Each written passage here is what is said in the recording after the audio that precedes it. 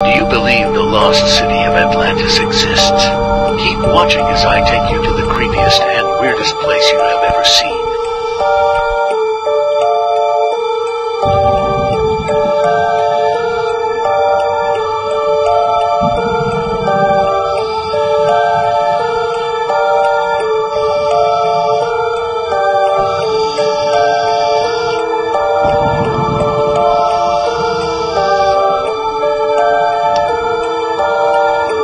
Thank you.